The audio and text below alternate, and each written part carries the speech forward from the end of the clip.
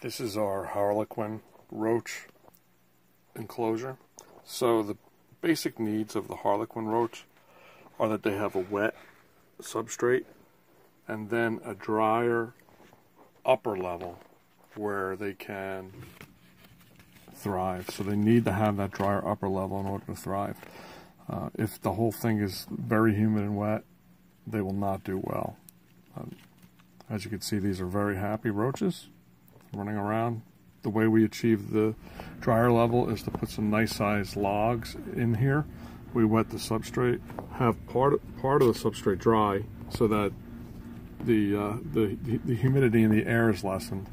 And then over top of the logs, we place egg crate, and that keeps them. That creates that drier upper environment that they need to thrive and to breed. And you can see these guys are pretty happy. Now they can climb.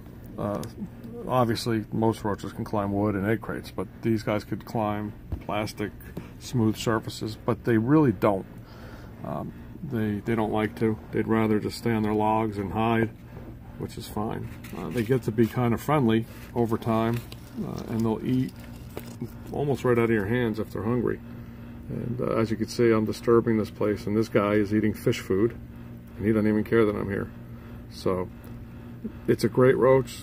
Some of the other things that they need is uh, they they need to have it warm. So 75 to 85 degrees is what they need to thrive and to breed.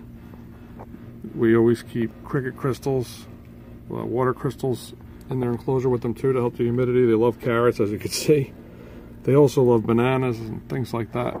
But fish food, fish food flakes, the cheap Tetrafin goldfish flakes. Those are their favorites. And that's it. So that's a Harlequin roaches, and that's how you care for them. Thank you.